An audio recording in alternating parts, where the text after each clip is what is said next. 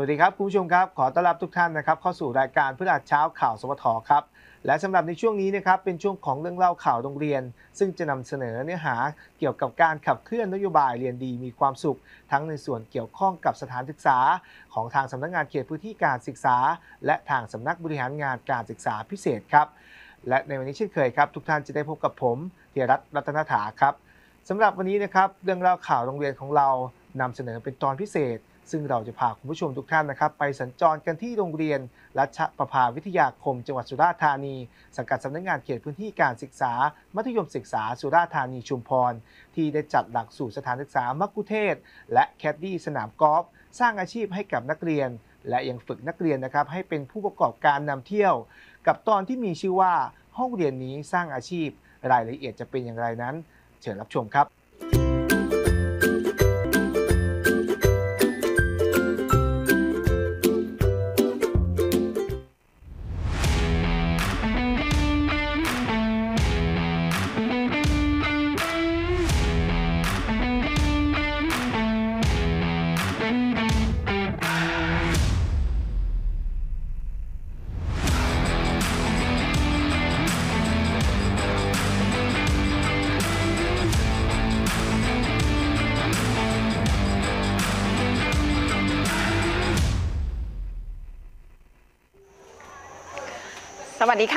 วันนี้ค่ะ เราพาทุกท่านมาอยู่กันที่โรงเรียนรัชประภาวิทยาคมค่ะ สังกัดสำนักงานเขตพื้นที่การศึกษามัธยมศึกษาสุราษฎร์ธานีชุมพรค่ะ โดยที่แห่งนี้นะคะ มีการจัดหลักสูตรสถานศึกษาค่ะ เกี่ยวกับมัคุเทศและแคดดี้สนามกอล์ฟเป็นการสร้างอาชีพค่ะ ให้กับนักเรียนเตรียมที่จะเป็นผู้ประกอบการนำเที่ยวค่ะ โดยวันนี้นะคะทุกท่านจะได้พบกับคณะกรรมการสถานศึกษาค่ะ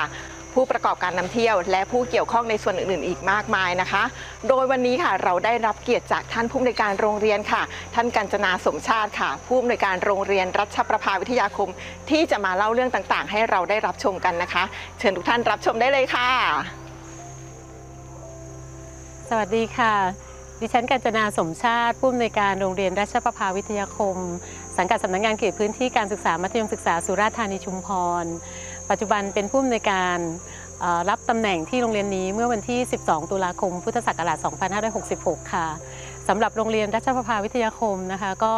เป็นโรงเรียนที่ตั้งอยู่ที่ตำบลเขาพังอำเภอบ้านตาขุนจังหวัดสุราษฎร์ธานีนะคะเเป็นโรงเรียนที่ได้รับนามพระราชทานจากในหลวงรัชกาลที่ 9 ค่ะคำว่ารัชประภานะคะ มาจากคำว่า Light of the Kingdom แสงสว่างแห่งราชอาณาจักรนะคะ โรงเรียนนี้ถูกสร้างขึ้นเพื่อรองรับ ประชากรที่เกิดจากการอพยพจากการสร้างเขื่อนรัชประภานะคะเมื่อปี 2527 นะคะ ปัจจุบันมีนักเรียนจำนวน 167 คนค่ะ แล้วก็มีคณะคุณครูและบุคลากรทางการศึกษาจำนวน 21 คนนะคะสำหรับตัวดิฉันเองนะคะได้เคยมาปฏิบัติหน้าที่ในฐานะของครูภาษาอังกฤษนะคะที่โรงเรียนรัชประภาวิทยาคมแห่งนี้ เมื่อปีการศึกษา 2537 ค่ะ นับเป็นระยะเวลาเกือบ 30 ปีนะคะที่ดิฉันได้มีโอกาส กลับมาในทำงานในตำแหน่งผู้อำนวยการที่นี่นะคะ ในช่วงของการปฏิบัติหน้าที่ของครูภาษาอังกฤษที่นี่นะคะ ดิฉันก็มองเห็นถึงโอกาสนะคะถึงการเติบโตทางด้านการท่องเที่ยวของชุมชนที่นี่ โดยเฉพาะทุกท่านก็คงจะรู้จักคำว่ากุ้ยหลินเมืองไทยนะคะ ซึ่งเป็นสัญลักษณ์สำคัญนะคะที่ดึงดูดนักท่องเที่ยวมาจากทั่วโลก นะคะ เพราะฉะนั้นเนี่ยการบ้านหลักของผู้บริหารที่ชุมชนที่นี่นะคะ ก็คือเราจะต้องทำยังไงเพื่อที่จะให้ตอบสนองนโยบายของทางกระทรวงนะโดยเฉพาะการส่งเสริมเรื่องของทักษะอาชีพ การหารายได้ระหว่างเรียน learn to earn นะคะทำยังไงก็ได้ให้นักเรียนมีอาชีพ แล้วก็จะได้นำไปสู่การมีงานทำในอนาคตนะคะ เพราะฉะนั้นเนี่ยตัวดิฉันเองซึ่งเคยประกอบอาชีพเป็นมัคคุเทศก์มาก่อนนะคะ ก็ได้มีการพูดคุยกับทางคณะกรรมการสถานศึกษานะคะกับผู้นำผู้นำชุมชนนะคะแล้วก็สถานประกอบการต่างๆว่าจะมีความเป็นไปได้แค่ไหน ถ้าเราจะมาสร้างหลักสูตรสักหลักสูตรหนึ่งนะคะที่จะส่งเสริมให้นักเรียนในท้องถิ่นของรอบๆ โรงเรียนรัชประภาเนี่ยได้มีความรู้ความสามารถในในด้านการใช้ทักษะทางภาษา ทางคณะกรรมการสถานศึกษาทางผู้ประกอบการต่างๆนะคะ ได้รับให้การสนับสนุนมาก แล้วก็มีความภาคภูมิใจ แล้วก็ชื่นชม แล้วก็ขออนุญาตใช้โอกาสนี้ขอบคุณไปยังเครือข่ายที่มีประสิทธิภาพนะคะคือมองว่า network เป็นเรื่องสำคัญมากนะคะแล้วก็ตัวเองโชคดีที่มีเครือข่ายที่เข้มแข็งในการ support ในทุกเรื่องนะคะก็จะขออนุญาตนำเรียนตั้งแต่คณะกรรมการสถานศึกษานะคะที่เห็นด้วยที่ต้องการให้ปรับปรุงหลักสูตรนะคะ ส่วนที่ 2 ก็จะเป็นสถานประกอบการที่เขามีความต้องการนะคะ สถานประกอบการเนี่ยเขามีความต้องการว่าถ้านักเรียนราชประภาเป็นต้นน้ำ นะคะก็คือเรียนรู้เรื่องของการท่องเที่ยวที่เป็นพื้นฐานเนี่ยนะคะแล้วก็ไปต่อยอดยังสถาบันอุดมศึกษานะคะซึ่งเป็นมหาวิทยาลัยนะคะแล้วก็กลับมาทำงานในสถานประกอบการในชุมชน ก็จะเป็นวงจรคุณภาพที่จะยกระดับชีวิตของนักเรียนของของผู้คนที่อยู่ในชุมชนที่นี่นะคะเพราะฉะนั้นเนี่ยตัวดิฉันเองเนี่ยก็คำนึงถึงเครือข่ายต่างๆนะคะก็เดินทางไปหามหาวิทยาลัยสงขลานครินทร์วิทยาเขตสุราษฎร์ธานี สาขาธุรกิจการโรงแรมและการท่องเที่ยวนะคะเพื่อจะขอทำ MOU นะคะในการ support นักเรียนกลุ่มนี้ ซึ่งได้รับการตอบรับเป็นอย่างดีนะคะ การจัดการเรียนการสอนนะคะ ก็ได้รับการสนับสนุนจากการจัดกิจกรรมเสริม อย่างเช่นจากท่านนายกชวลิตช่วยส่งนายกเทศมนตรี เทศบาลตำบลบ้านเชี่ยวหลานนะคะ ซึ่งท่านเนี่ยจัดโครงการยุวมัคคุเทศก์อยู่ก่อนแล้วนะคะ ที่จะคอย support ให้กับนักเรียนให้มีพื้นฐานในเรื่องนี้นะคะ ท่านก็ยินดีด้วยเป็นอย่างยิ่งที่เราจะปรับหลักสูตรนะคะ แล้วก็ทางม.อ.สุราษฎร์เองก็พร้อมที่จะสนับสนุนทางด้านวิชาการนะคะ เพื่อที่จะสร้างคุณภาพชีวิตของคนในชุมชนที่นี่นะคะ ให้เขามี ทักษะอาชีพได้มีงานทำที่ยั่งยืน มีคุณภาพชีวิตที่ดีที่สำคัญก็คือเขาได้กลับมาอยู่กับครอบครัวอย่างอบอุ่นนะคะ ซึ่งมองว่าตรงนี้ค่ะที่จะทำให้คุณภาพชีวิตของของอำเภอบ้านตาขุนนะคะยกระดับขึ้นนะคะก็จะน่าจะเป็นความสุข แล้วก็ในส่วนอื่นๆค่ะดิฉันยังได้รับการสนับสนุนจากกองทุนพัฒนาโรงไฟฟ้านะคะซึ่งทางกองทุนเนี่ยให้ถือว่าเป็นกำลังใจสูงสุด เพราะว่าเมื่อดิฉันเขียนโครงการไปนำเสนอนะคะ เขาก็สนับสนุนแล้วอย่างปี 2567เนี่ยค่ะก็สนับสนุนให้จ้างครูภาษาอังกฤษ ซึ่งเป็นคนไทย 1 อัตรานะคะเป็นเงิน 132,000 บาทนะคะแล้วก็ในปี 2568 ค่ะดิฉันก็เขียนโครงการใหม่ ไปยื่นเพื่อจะขอเปลี่ยนเป็นชาวต่างชาติ เพื่อจะยกระดับคุณภาพในการใช้ภาษาของนักเรียนรัชประภานะคะ ก็ได้รับการตอบรับเป็นอย่างดีก็ต้องกราบขอบพระคุณท่านในอำเภอบ้านตาขุน ท่านวีรยุทธ์ขนุนดินนะคะ ซึ่งเป็นประธานกองทุนรอบโรงไฟฟ้าของอำเภอบ้านตาขุนที่ท่านได้ช่วยสนับสนุนนะคะ ในปีหน้านะคะ เราก็จะมีครูต่างชาตินะคะมาให้ความรู้กับนักเรียนตลอดทั้งปีนะคะ ซึ่งซึ่งมองว่าในตรงนี้ค่ะ เราก็แบ่งปันให้กับโรงเรียนในเครือข่ายของเราด้วย อย่างเช่นครูต่างชาติท่านนี้ก็จะไปทำกิจกรรมที่โรงเรียนบ้านพัฒนา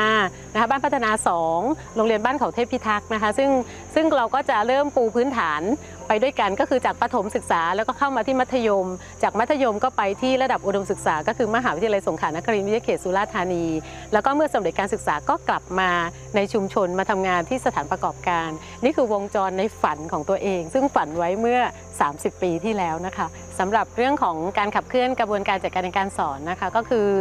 เราก็นำนโยบายจากทางกระทรวงลงสู่คุณครูนะคะ โรงเรียนรัชประภาวิทยาคมนะคะ เราได้รับ โอกาสในการเข้าร่วมเป็นหนึ่งในโรงเรียนนำร่องพื้นที่นวัตกรรมของจังหวัดสุราษฎร์ธานีค่ะ เป็นหนึ่งใน 13 โรงเรียนนะคะ เพราะฉะนั้นเนี่ยโจทย์ใหญ่ก็คือเราจะต้องสร้างนวัตกรรมนะคะเพื่อจะให้นักเรียนเป็นนวัตกรนะคะเพราะฉะนั้นโจทย์ของคุณครูทุกคนก็คือ คุณครูจะต้องมีนวัตกรรมในการขับเคลื่อนการจัดการเรียนรู้แบบ active learning ในห้องเรียนนะคะแล้วก็ส่งให้นักเรียนเนี่ยสามารถจะเป็นต่อยอดเป็นนวัตกรได้นะคะ สิ่งที่จะนำมาบูรณาการได้ก็คือในเรื่องของทักษะอาชีพค่ะ ก็เลยมีการบูรณาการทักษะอาชีพ โดยการวิเคราะห์แหล่งเรียนรู้ในชุมชนนะคะที่จะส่งเสริมเป็นอาชีพที่เสริมรายได้ให้กับนักเรียนได้นะคะสมเด็จพระพันปีนะคะท่านได้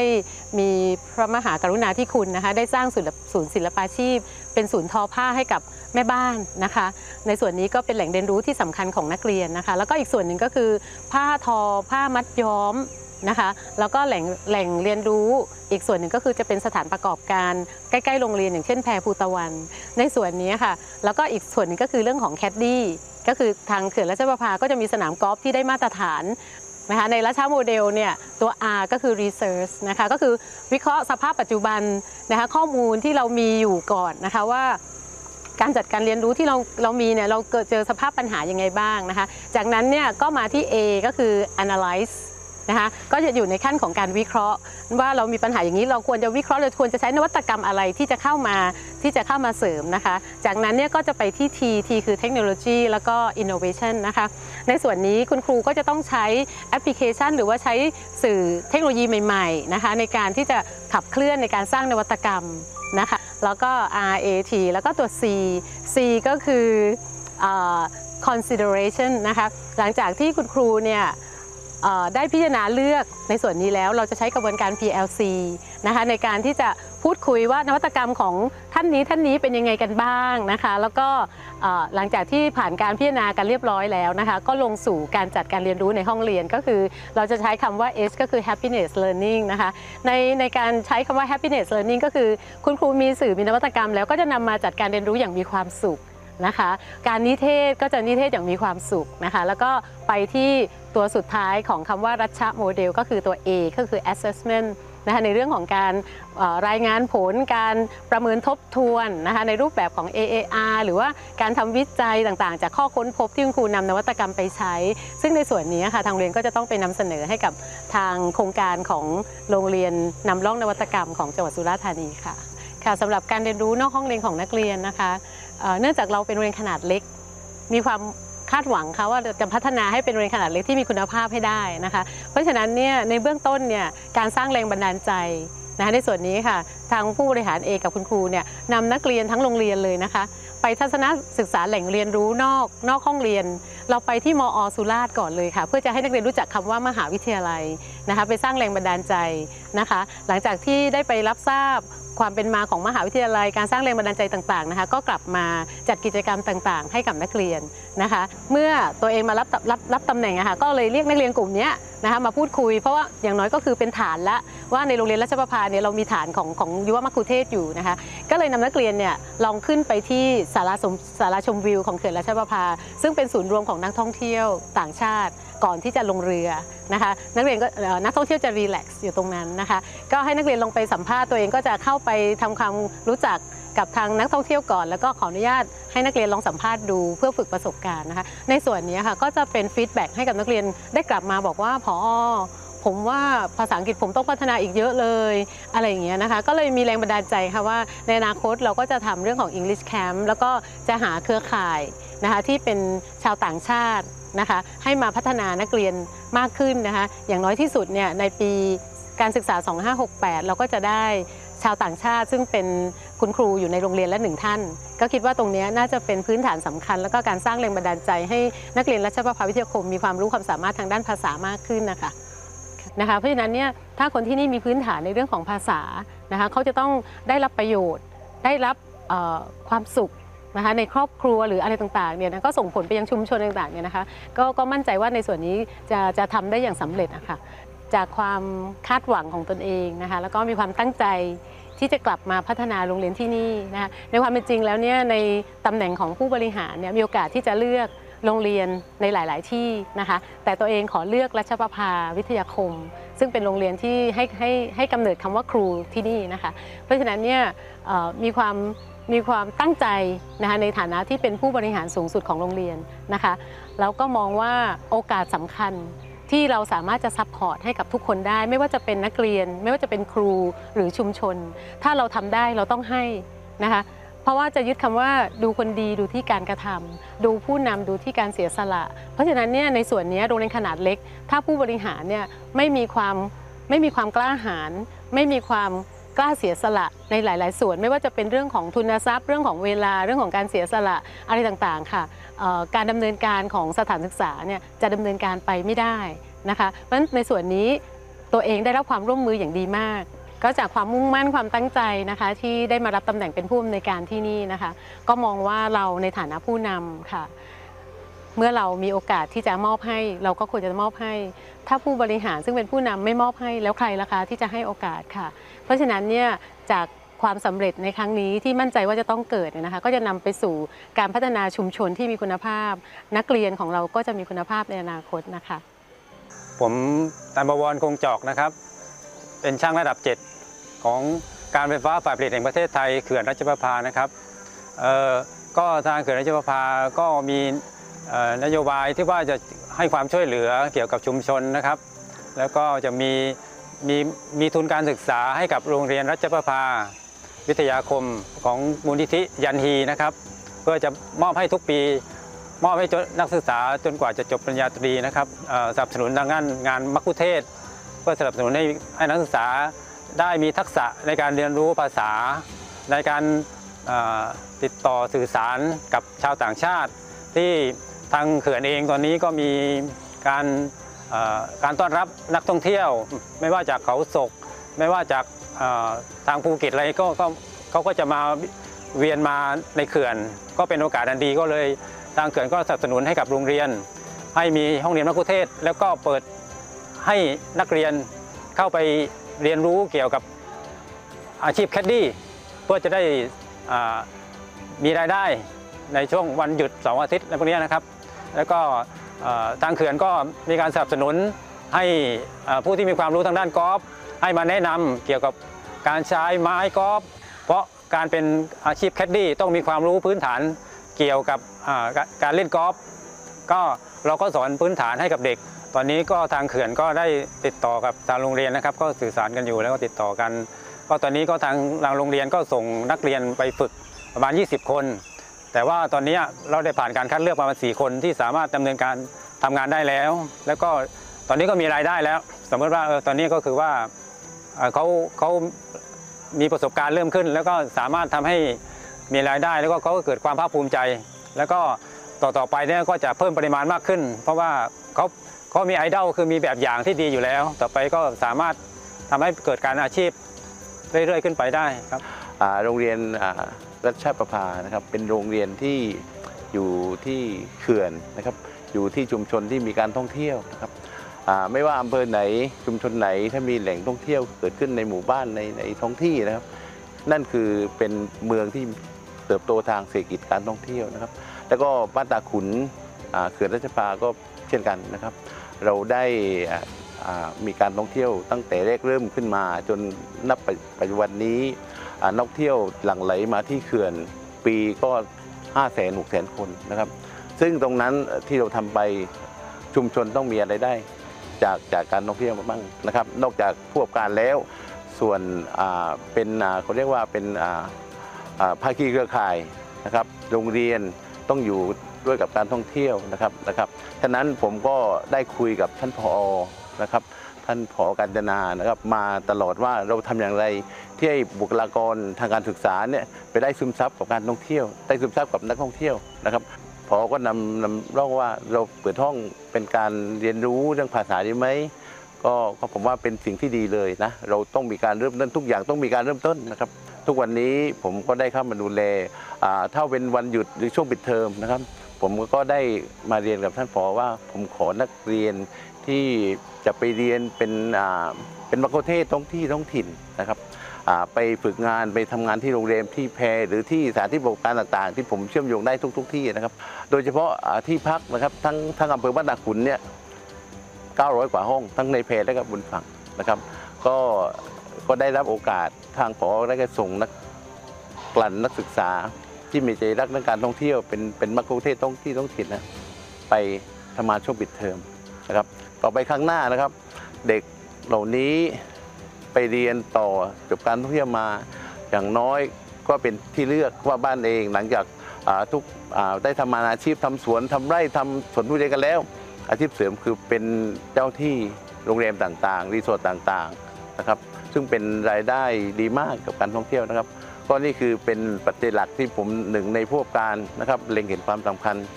กับการศึกษา ของท้องที่ท้องถิ่นนะครับ ก็หวังว่าต่อไปภายภาคหน้า เด็กนักศึกษาจากโรงเรียนรัชประภาแห่งนี้ เป็นจุดประกายเริ่มต้นตรงนี้จะกลับมาพัฒนาท้องที่ท้องถิ่นและจะให้การท่องเที่ยวได้ยั่งยืนต่อไปครับขอบคุณครับ สวัสดีครับ ผมนายวิทยาถาพรกำนันตำบลเขาพังเป็นผู้ประกอบการแพท่องเที่ยวเขื่อนระพาแล้วก็ผู้ประกอบการเรือท่องเที่ยว แล้วก็เป็นกำนันในพื้นที่ของตำบลเขาพังครับ ก็ในผมในฐานะผู้ประกอบการ แล้วก็เป็นผู้นำในพื้นที่เนี่ยก็จะเห็นว่าจะมีนักท่องเที่ยวที่เข้ามาในพื้นที่ตำบลเขาพัง หรือว่าเขื่อนเจ้าพระพาในพื้นที่เนี่ยปีเนี่ยนับประมาณ 4 5แสน4 5แสนคน ซึ่งส่วนใหญ่เนี่ยประมาณ 9.5%ซึ่งเป็นนักนักท่องเที่ยวต่างชาติ ซึ่งอ่าทำให้เรามีปัญหาเรื่องการสื่อสารกับนักท่องเที่ยว พอผมมีโอกาสได้เข้ามาเป็นคณะกรรมการสถานศึกษาโรงเรียนรัชประภาวิทยาคมผมก็ก็ได้ปรึกษากับทางท่านผอกัญจนาสมชาติ และก็ทางคณะกรรมการร่วมกันว่าเรามีความจำเป็นจะต้องผลิตบุคลากร เพื่อเป็นมัคคุเทศน้อย แล้วก็เพื่อจะเป็นปูพื้นฐานให้นักเรียนของในพื้นที่เนี่ยมีโอกาสได้ช่วยเหลือช่วยเหลือนักท่องเที่ยวอย่างน้อยช่วยเหลือนักท่องเที่ยวที่เข้ามาในพื้นที่เข้ามาในชุมชน แล้วก็สามารถ หารายได้ให้กับตัวเอง แล้วก็เพื่อเป็นการช่วยเหลือจุนเจือให้กับครอบครัว ซึ่งต่อไปอนาคตถ้าน้องๆนักเรียนมีโอกาสได้ศึกษาต่อ ก็มีโอกาสที่จะเข้าไปมหาวิทยาลัยที่ที่ดี ๆ ขึ้น แล้วก็อย่างน้อยๆ ถ้าสมมติว่านักเรียนไม่มีโอกาสได้ศึกษาต่อ ก็อย่างน้อยก็สร้างอาชีพให้เขาได้ต่อยอด ซึ่งอาชีพมัคคุเทศก์จริง ๆ ก็เอ่อเดือนในประมาณอย่างน้อย 2-3ถึงหมื่นบาทครับ ซึ่งจะเป็นรายได้ที่ค่อนข้างสามารถครองครองชีพ ประจำวันได้ครับ ดังนั้นเนี่ยสิ่งที่สำคัญที่สุดก็คือเอเรื่องการศึกษาในพื้นที่ของโรงเรียน ซึ่งจะสสร้างและก็ผลิตบุคลากรที่มีความสามารถเรื่องการศึกษา และก็สร้างคนที่มีคุณภาพเพื่อออส่งต่อให้กับทางหมหาลัยหรือในพื้นที่ของสังคม ซึ่งผมว่ามีความมีความจำเป็นมาก ซึ่งผมเนี่ยก็ปัจจุบันก็พยายามสนับสนุนทุกเส้นทาง ไม่ว่าเส้นทางที่จะ ผ่านงบประมาณต่างๆ เพื่อทำมติประชาคมในพื้นที่ชุมชน เพื่อให้โรงเรียนได้มีงบในการจ้างครูภาษาเข้ามาที่อยู่ในโรงเรียน ซึ่งทำให้โรงเรียนนี้สามารถและก็ผู้บริหารโรงเรียน โดยท่านผอกัญจนาสมชาติเนี่ยซึ่งท่านก็มีความสามารถ และก็ท่านก็มีประสบการณ์กับการ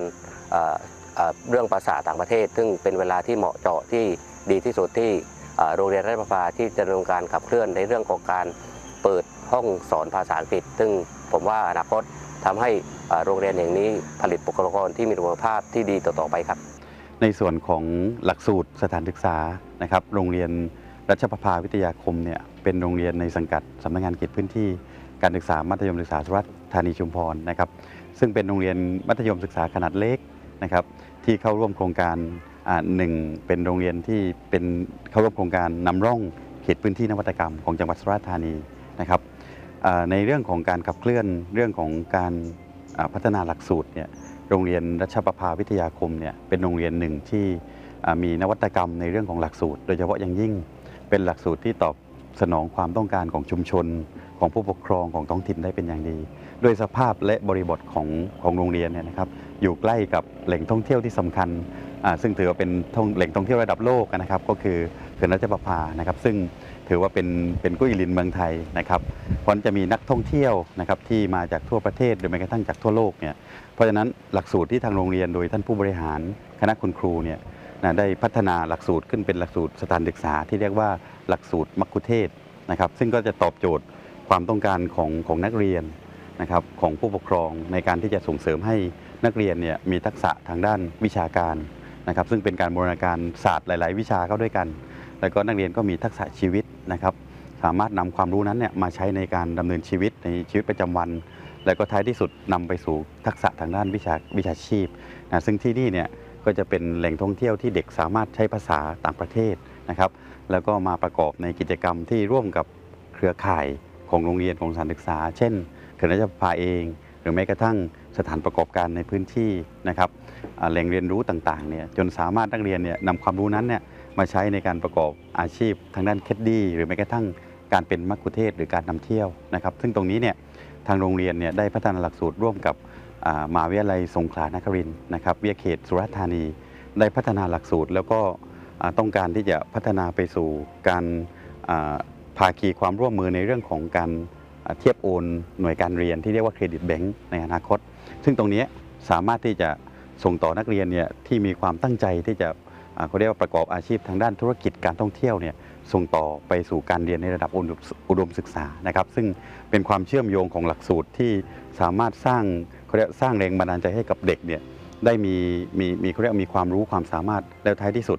สามารถที่จะนำความรู้นั้นไปประยุกต์ใช้ในการดำเนินดำเนินชีวิต แล้วก็มีอาชีพมีงานทำซึ่งเป็นเป้าหมายสูงสุดของการจัดการศึกษานะครับ และตอนนี้นะคะ หลังจากที่เรานะคะได้เรียนรู้แล้วก็ทราบข้อมูลนะคะ เกี่ยวกับหลักสูตรสถานศึกษามัคคุเทศก์และแคดดี้สนามกอล์ฟไปแล้วนะคะ เรามีโอกาสได้อยู่กับน้องสองท่านค่ะ ที่น้องได้มาฝึกแคดดี้นะคะ ที่สนามกอล์ฟเขื่อนรัชประภาแห่งนี้ค่ะ โอเค สวัสดีค่ะ สวัสดีครับ ให้น้องๆแนะนำตัวกันหน่อยคค่ะรับผมชื่อนายอาชิตอภพลปิยมิตรครับกับ ผมชื่อนายสมมาตรปรุมตรงตัวครับ โอเค น้องทั้งสองท่าน เป็นแคดดี้ฝึกงานอยู่ที่นี่ใช่ไหมคะ ครับฝึกงานอยู่ที่นี่ก็เกือบจะปีแล้วครับ เกือบจะปีแล้วครัเนาะบพี่อยากให้น้องเล่าถึงประสบการณ์นิดนึงว่าก่อนที่จะมาฝึกตรงเนี้ยค่ะ ได้เรียนรู้อะไรกันมาก่อนคะตรงนี้ครับก็ได้ฝึกจากที่นี่นะครับ ก็มีรุ่นพี่มาฝึกให้นะครับ ช่วยฝึกดูลาย ดูระยะนะครับ และช่วยแนะนำไม้นะครับ ว่าพี่ๆช่วยบอกว่าไม้นี้คือไม้อะไรครับ จะตีระยะไหนครัอ๋บ อ ก่อนที่จะเข้ามาฝึกจริงจังเนี่ยก็คือต้องมีการสอนฝึกสอนจากพี่พี่ๆแคดดี้มืออาชีพก่อนใช่ไหมครัคะบแล้วก็น้องก็จะได้มาฝึกที่สนามกอล์ฟจริงๆ ตอนนี้ทำงานอยู่ที่นี่เลย ครับนะคะทำงานอยู่ที่นี่ครับในวันหยุดเหรอใช่คะ ครับวันเสาร์อาทิตย์ครับสนุกไหมคะ สนุกมากคสรับนุกมากค่ะ แล้วสิ่งที่น้องน้องๆทำอยู่ทุกวันเนี้ยนะคะที่ที่เกี่ยวกับแคดดี้เนี่ยมีอะไรบ้างคะที่ ต้องแนะนำให้กับโปรกอล์ฟใช่ไหมคะที่มา ครับช่วยแนะนำระยะทางหรือการตีแบบทางซ้ายหรือทางขวาครับแล้วแต่หลุมนะครับ อ๋ออังั้นลองลองแนะนำไม้ให้พี่ดูหน่อยได้ไหมคะ ครับ ไม้นี้คือไม้หนึ่งนะครับคือไดเวอร์จะตีแบบระยะเปิดนะครับค่ะ จะตีได้ไกลครับ อ๋อ คือแต่ละไม้ก็จะระยะคนละระยะกันทั้งนั้นใช่ครับ เลยนะคะ แล้วแต่ไอ้คนตีด้วยครับค่ะ ว่า ไอ้นายแต่ละคนเขาจะตีไม้แต่ละไม้ได้ระยะไกลเท่าไหร่ครับอ๋อเอาเบสิกง่ายๆเลยที่เขาตีพัดกันอะแล้วลงหลุมเลยอะค่ะ ไอ้ไม้นี้ครับไม้นี้ พัตเตอร์ครับ อ๋อ คือพี่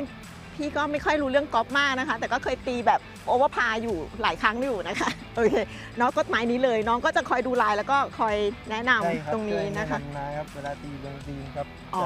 ะตีได้ลงหลุมถ้าพวกผมแนะนำครับ พอลงหลุมปุ๊บเราก็จะดีใจกับ กับนายด้วยกับครันายด้วยนะคะโอเคค่ะ แล้วอยากให้น้องๆเล่าถึงประสบการณ์ว่าหลังจากที่มาทำที่นี่แล้วเนี่ยได้ได้มีความสำเร็จยังไง แล้วก็อยากต่อยอดให้กับคนอื่นๆที่ที่เตรียมที่จะเข้าสู่ตรงนี้ยังไงบ้างไหมคะตรงนี้ครับไอ้ตีนะครับจะแนะนำอยากเพื่อนๆนะครับได้เข้ามาทำงานที่นี่สนุกครับมีเพื่อนๆพี่น้องเวดดี้สนุกสนานพูดคุยกันครับ เวลาว่าง พี่ๆแนะนำกันเยอะเลยใช่ไหมคะครับ โอเคค่ะ วันนี้นะคะเราก็ได้เรียนรู้นะคะในกระบวนการนะคะของโรงเรียนที่นี่นะคะ ที่สามารถนะคะสอนหลักสูตรเหล่านี้นะคะ ให้กับน้องๆได้มีโอกาสเพิ่มมากขึ้น แล้วก็ได้คุยกับน้องๆมากขึ้น ทุกท่านคะและนี่แหละค่ะก็คือผลผลิตทางการศึกษาของโรงเรียนรัชประภาวิทยาคมค่ะ ก่อนปิดรายการนี้นะคะน้องๆจะพาแป้งไปพัสกอล์ฟกันแล้วค่ะ แล้วเดี๋ยวเรามาดูกันนะคะ ว่าจะเป็นอย่างไรพบกันใหม่ครั้งหน้านะคะ สวัสดีค่ะ